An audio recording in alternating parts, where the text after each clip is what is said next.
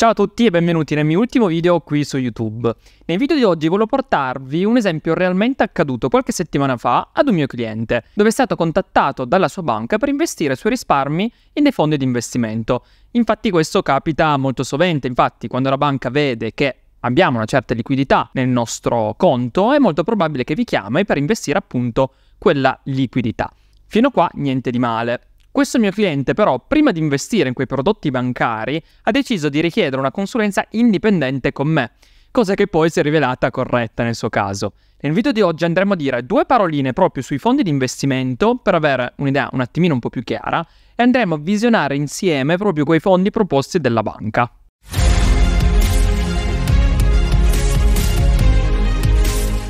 Allora, come ben detto, prima di tutto partiamo un attimino dai fondi. Cosa sono i fondi? I fondi comuni sono strumenti di investimento che raccolgono i soldi di tanti investitori per acquistare un portafoglio diversificato di azioni, obbligazioni o altri strumenti finanziari.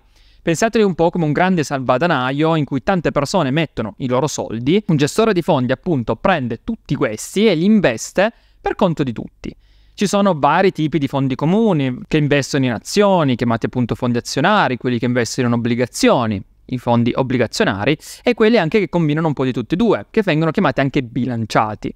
Ogni fondo ha appunto una strategia diversa e un obiettivo diverso. Adesso parliamo di una cosa molto importante ai fini di questo video, che sono appunto i costi. I costi e le performance. Iniziamo dai costi. I costi all'interno di un fondo possono essere un vero e proprio labirinto e spesso non sono subito evidenti e naturalmente in generale le banche tendono a soffermarsi anche poco su questi punti. Vediamo insieme come sono strutturati, come possono influire sui vostri investimenti. Prima di tutto ci sono diversi tipi di costi che potrete incontrare. Commissione di gestione. Questa è una percentuale annua che il fondo addebita per pagare il lavoro del gestore del fondo e il team di ricerca. Di solito varia appunto dall'1% al 3% del patrimonio investito. Anche se sembra una cifra piccola, nel lungo periodo può ridurre significativamente i risparmi e i rendimenti. Poi abbiamo le commissioni d'ingresso. Alcuni fondi addebitano una commissione quando si entra nel fondo, che può arrivare anche fino al 5% dell'importo investito. Anche se da dire che queste sono a discrezione della banca, quindi non è detto che vi vengano applicate. Questo significa che se, ad esempio, investiamo 1000 euro, potreste dover pagare fino a 50 euro solo per entrare nel fondo. Immaginiamo, che ne so, un pack mensile dove versiamo 400 euro tutti i mesi, ecco noi pagheremo il 5% su tutte le entrate che faremo nel fondo. In più, similmente, abbiamo anche le commissioni di uscita, quindi dobbiamo pagare anche nel caso volessimo vendere appunto le quote del nostro fondo. Qualche fondo ha anche le commissioni di performance. Questa è una commissione aggiuntiva che il fondo può addebitare se supera un certo benchmark o obiettivo di performance. Può sembrare una buona idea, ma spesso i criteri di questo bonus sono fissati in modo tale che il gestore ha un incentivo a prendere i rischi maggiori, che potrebbero non essere nel vostro interesse. Questi alti costi infatti servono a remunerare proprio una lunga catena che parte dal costo dei singoli strumenti, alle case di gestione che effettivamente creano i fondi e alla distribuzione, quindi ad esempio alla banca e infine anche ai consulenti che vi vendono questi prodotti. In 10 anni questi costi possono erodere parte significativa del vostro investimento. Questo è il motivo per cui è fondamentale comprendere tutti i costi associati a un fondo comune prima di investirci. Però non voglio parlare solo dei costi, perché voi potreste benissimo dirmi che i costi non sono tutto, ed è anche vero. Se questi alti costi sono associati a risultati ottimi, allora perché no? Magari gli altri costi vanno proprio a remunerare questo valore aggiunto. È così? Mm, più o meno, vediamo subito, molti fondi comuni, se non la maggior parte, non riescono a battere il mercato nel lungo periodo. Secondo le ricerche di Spiva, solo il 12% dei fondi riesce a battere il mercato oltre i 15 anni. Questo significa che, nonostante le promesse e le speranze, spesso non otterrete rendimenti migliori rispetto a un semplice investimento di un indice di mercato, come può essere ad esempio un ETF. Perché succede questo? Ci sono diverse ragioni, costi elevati come abbiamo visto prima, i costi di gestione e quelli di ingresso, uscita riducono significativamente i rendimenti. Anche se il fondo performa bene, questi costi possono erodere gran parte dei guadagni. Scelte di investimento un altro punto. Ovviamente battere il mercato non è semplice. I gestori di fondi comuni cercano di selezionare le migliori azioni e obbligazioni, ma non sempre ovviamente ci riescono perché appunto è difficile. Il mercato è imprevedibile e anche i gestori più esperti possono commettere errori o non riuscire a prevedere direttamente i movimenti del mercato. Con questo non voglio dire che tutti i fondi attivi sono da buttare via. Certamente, come abbiamo detto prima, nel lungo periodo abbiamo una possibilità maggiore di ottenere rendimenti maggiori con un indice passivo, come può essere ad esempio un ETF. Ciò nonostante, comunque ci sono dei fondi nel mercato che performano anche molto bene e riescono magari a battere anche nel mercato nel lungo periodo. Volevo terminare però con un punto che a molti sfugge. I consulenti di banca effettivamente sono più simili a venditori che a consulenti. Lo scopo finale della banca è di guadagnare, di fare utili. Quindi molto spesso gli obiettivi della banca possono non essere in linea con i vostri. Molto spesso infatti è anche presente un più o meno velato conflitto di interesse. Come abbiamo detto prima, le banche e i gestori di fondi guadagnano dalle commissioni che applicano. Questo crea un incentivo a vendere prodotti con commissioni più alte, anche se non sono i migliori per gli investitori. Immaginiamo di avere due prodotti a parità di performance, mettiamo ad esempio un, un ETF che segue il mercato americano e un fondo azionario americano, sarò più incline a vendere quello che mi remunera di più ma è normale questo. A volte però i consulenti finanziari ricevono anche bonus o incentivi per promuovere certi tipi di fondi, aumentando il rischio che vi venga consigliato un prodotto dalla scarsa qualità. Per non parlare perché spesso capita, alcuni fondi investono in prodotti o titoli della stessa banca o società di gestione. Questo, come capite bene, può portare a conflitti di interesse se la banca utilizza il fondo per sostenere altre parti del proprio business. I clienti che avete sono assolutamente... Fanculo i clienti. La tua unica responsabilità è mettere la carne in tavola. Regola numero uno, spostare i soldi dalle tasche del tuo cliente e metterli nelle tue. Certo, ma se ne fai entrare un po' nelle tasche del tuo cliente è vantaggioso per tutti, giusto?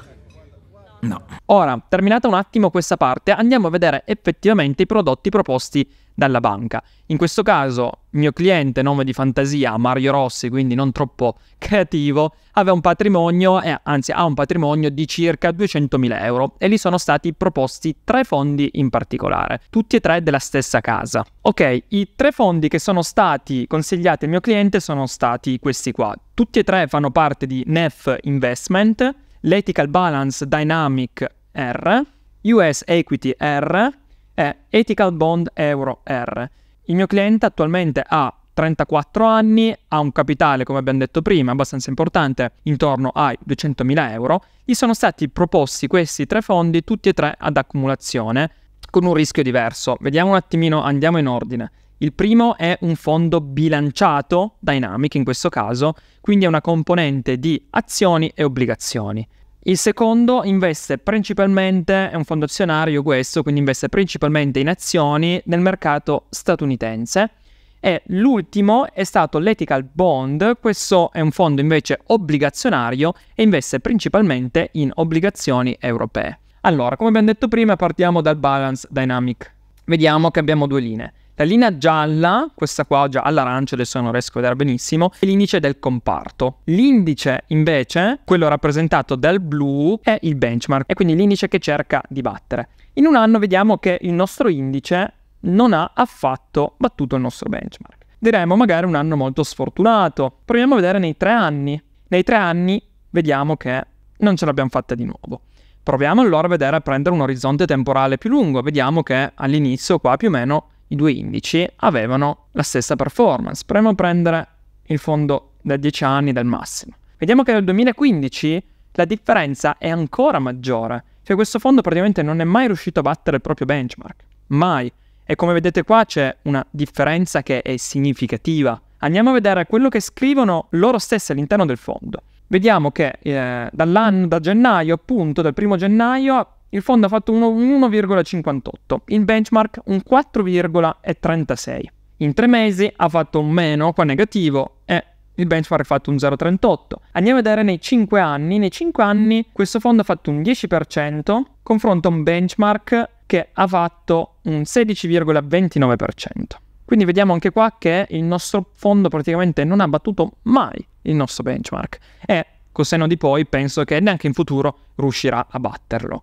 Andiamo a vedere adesso un attimino i documenti. Volevo andare a vedere l'informazione chiave per gli investitori. Allora, andiamo a vedere un attimino appunto gli obiettivi. L'obiettivo del comparto è conseguire un apprezzamento del capitale rispettando i principi ambientali, sociale e di governance SG nel medio e lungo termine attraverso un'allocazione attiva del rischio principalmente in obbligazioni e azioni.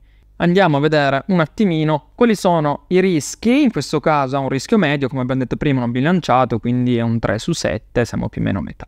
Andamento dei costi del tempo. Andiamo, leggiamo qua, questo illustra come i costi riducono il rendimento ogni anno durante il periodo di detenzione. Ad esempio mostra che se si liquida l'investimento al periodo di detenzione raccomandato, il rendimento medio anno previsto del 3,7 all'ordo delle spese e 1,6 al netto delle spese. Quindi già come vediamo qua, qua ci stanno dicendo che appunto il rendimento è obiettivamente affossato da quelli che sono i costi. Vediamo che su un esempio di 10.000 euro in caso di uscita dopo un anno, i costi totali sono di 272. In caso di uscita dopo 3 anni sono di 663. Quindi l'incidenza annua dei costi è di 2,7% o 2,1%. Quindi è un fondo abbastanza, abbastanza caro a mio parere. Più che altro è un fondo abbastanza caro per avere queste performance che le trovo davvero pessime, davvero pessime confrontate e paragonate al benchmark. Vediamo che il costo d'ingresso è dell'1%, quindi eh, come abbiamo detto prima questi costi possono essere addebitati o no dalla vostra banca. Questo glielo dovete chiedere o comunque dovrebbe essere detto ma molto spesso non viene detto. Vediamo un costo di uscita, in questo caso 0%, non si paga nulla. Commissione di gestione e altri costi di amministrativi o di esercizio. Vediamo che in questo caso sono l'1,63%. Si tratta di una stima basata sui costi effettivi dell'ultimo anno. Vediamo una costo di transazione invece del 0,09%. Vediamo qua invece commissioni eh, oneri accessori sostenuti in determinate condizioni, commissione di gestione 0%, quindi in questo caso non ha commissioni di performance e voglio dire meno male anche perché il benchmark non l'abbiamo praticamente mai battuto. Andiamo a vedere adesso questo fondo qua. Questo, come ho detto prima, è un fondo azionario e investe principalmente in aziende statunitensi. Allora, vediamo che in un anno il fondo si è comportato abbastanza bene comparato all'indice, perlomeno fino a qua. Vediamo che nell'ultimo periodo comunque l'indice ha performato decisamente meglio. Proviamo a vedere nei tre anni Ebbene, nei tre anni cominciamo a vedere qua un po' di differenza. Vediamo che attualmente appunto l'indice performa nettamente meglio rispetto a questo fondo. Anche qua proviamo ad andare a vedere nei dieci anni. Vediamo che nei dieci anni praticamente questo comparto non ha mai battuto il benchmark e possiamo vedere come qua dal 2020 l'indice ha avuto performance che sono state nettamente maggiori, nettamente maggiori rispetto al comparto. Andiamo a vedere un attimino le performance qua. Vediamo dall'anno da gennaio un 14,68 contro il benchmark 18,36. Nei sei mesi 14,68, 18,36% del benchmark.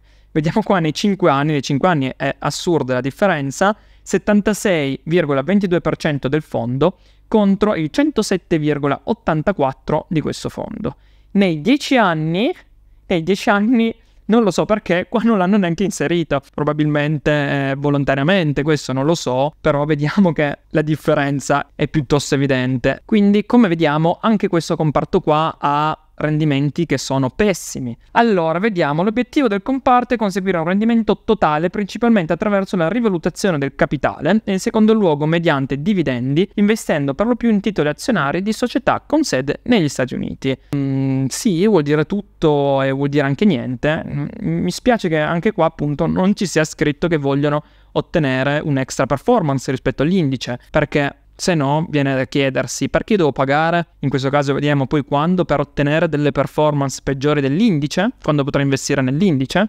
Andiamo a vedere adesso l'indice annuale dei costi. Qua è uguale, quindi su 10.000 euro vediamo che dopo, nel caso di uscita, dopo un anno si potrebbero pagare circa il 5%. 5%. Non so se abbiamo sentito bene, ma 5%.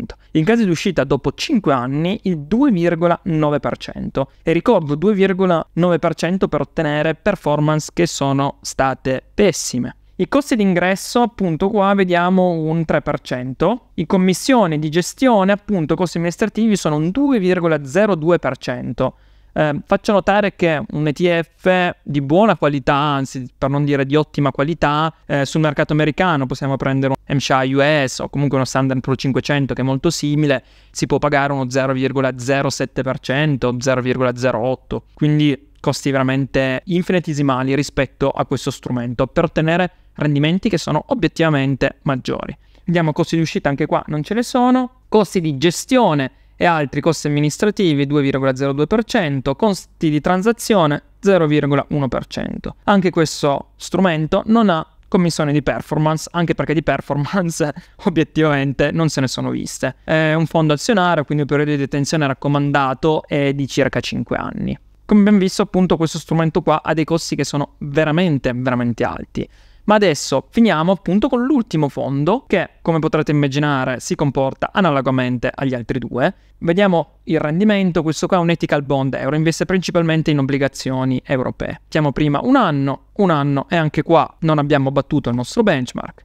Nei tre anni, nei tre anni siamo stati molto simili, non abbiamo battuto il benchmark, ma possiamo dire di poco. Andiamo a vedere nei dieci anni, nei dieci anni anche qua la differenza è abissale. Purtroppo anche in questo caso qua il fondo non va a battere quello che è il benchmark. Andiamo a vedere adesso un attimino appunto le performance. Da gennaio tutti e due i fondi sono stati in negativo, comunque l'obbligazionario per via dei tassi ha sofferto parecchio. Andiamo a vedere eh, in un anno in un anno il fondo ha performato un 2,18 con un 3,63% dell'indice. Vediamo nei meno 5 anni un meno 14,35 con un meno 10,83%.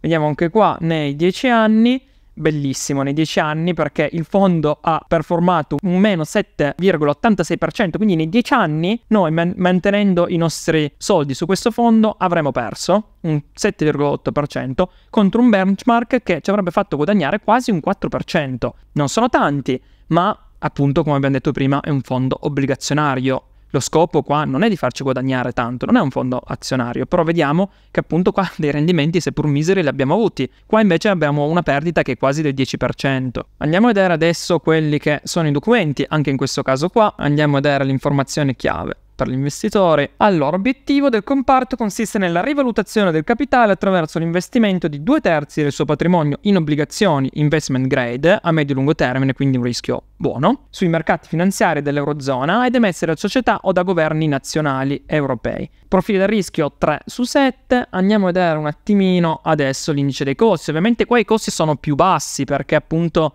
è un indice obbligazionario, ma neanche poi di tanto. Vediamo che l'incidenza annuale dei costi in caso di uscita dopo un anno viene segnalato un 2,1%, in caso di uscita dopo tre anni un 1,4%.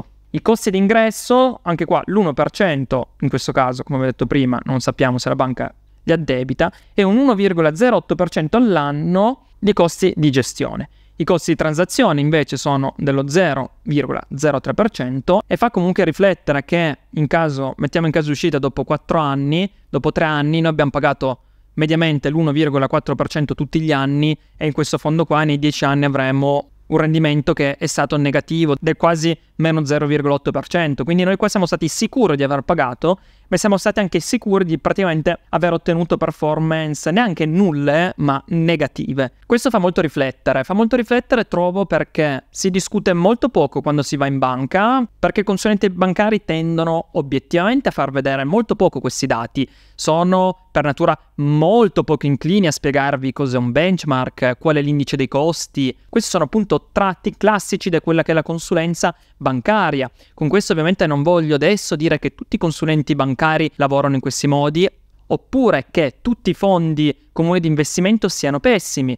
In, no, ci sono anche, seppur in maniera molto ristretta, alcuni fondi eh, di case importanti che hanno ottenuto eh, rendimenti e performance maggiori al benchmark. Questo è un discorso di modo, appunto. Il cliente normale che va in banca non conosce appunto cos'è un benchmark, non conosce i costi, si fida appunto della persona che ha davanti e molto spesso se non quasi sempre, vengono propinati questi fondi dalla bassissima qualità. Non a caso, appunto, quando ho fatto vedere questi dati al mio cliente, che senza fare un'analisi veramente troppo approfondita di cosa appunto dentro il fondo, basta veramente andare a vedere quello che è stato il benchmark e quello dei costi ed è palese appunto dalla differenza di qualità tra il benchmark e il fondo. Quindi, come in questo caso qua, il cliente ha fatto bene a richiedere una consulenza indipendente, ha ottenuto un suo portafoglio efficiente con strumenti efficienti che riescono appunto a fornire un valore nel tempo, tenendo appunto i costi più bassi possibile, ad avere un portafoglio cucito su misura. Qual è appunto la differenza